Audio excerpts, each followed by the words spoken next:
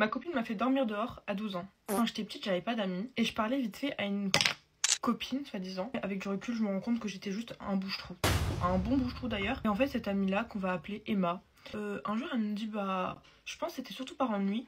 Elle me dit, bah, Si tu veux, euh, tu viens chez moi dimanche, on fait une soirée pyjama entre copines et tout, nan, nan.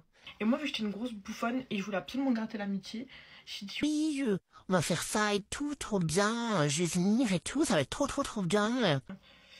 Alors que ma mère, je savais qu'elle allait dire non. Et du coup, ma mère, vu que je savais pertinemment qu'elle allait dire non, du coup, j'ai dit à ma mère que j'allais aller chez mon père. Donc ma mère, elle s'est dit, ok, elle va chez son père. Et faut savoir que ma mère et mon père, vu qu'ils s'aiment pas, bah, ils parlent pas entre eux. Du coup, j'étais trop, trop contente. Je me suis dit, ça va être trop bien. Je vais passer une trop bonne euh, journée. Je vais passer une trop bonne soirée et tout. On va regarder des films et tout. J'étais trop, trop, trop contente. Pour moi, là, je vivais mon film américain. Donc, je sors de chez moi toute contente et tout, nanana. Je commence à l'appeler.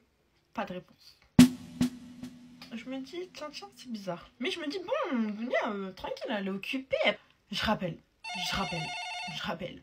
Euh, en fait, on devait juste se rejoindre au lac. Et après, bah, elle allait m'em- m'emmener chez elle. J'appelle, j'appelle, j'appelle. Pas de réponse. Et là, elle finit par décrocher. Oui, allô, peut-être que je t'appelle, ça fait deux heures que je t'attends, au lac et tout, euh, toujours pas de réponse, je te vois pas, t'es où et tout, non, non. Je, je vous jure, j'ai senti la douille. Mais tellement je suis une bouffonne, bref. Et là, elle commence à me crier dessus. Ouais, je peux plus. Oh, quand on dit non, c'est non. C'est bon, je peux plus. Ma mère, elle veut pas. Ma mère, elle veut pas. T'étais pas censée déjà lui avoir demandé? Là, je je commence à me sentir pas bien parce que bah, je suis censée aller chez mon père en fait. Elle me raccroche au nez. Je la rappelle, je la rappelle, pas de réponse. Pas de réponse, les filles. Pas de réponse. Je suis restée seule. Je commence à pleurer, pleurer. Je me suis dit, purée, pourquoi j'ai menti à ma mère? Merde, pourquoi j'ai fait ça? Euh, Et puis, il commençait à faire froid. Il commençait à faire très froid, les filles. J'ai dormi sur un banc.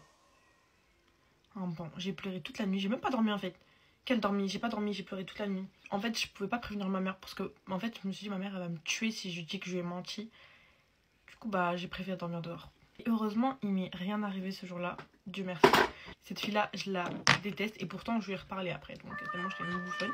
Voilà, un bouffonne premium. Il faut savoir que le lendemain, puisque c'était le dimanche, le lendemain, je suis allée en cours comme si de rien n'était. Avec mes habits de la veille. Euh, crasseuse, dégueulasse. Euh, les yeux gonflés comme ça, voilà, les yeux, c'était des billes. Euh, je suis allée en cours normal. Faites attention à vos fréquentations. N'hésitez pas à vous abonner parce que personne ne veut s'abonner. N'hésitez pas à commenter. Dites-moi ce que vous en pensez. Et je vous dis à demain.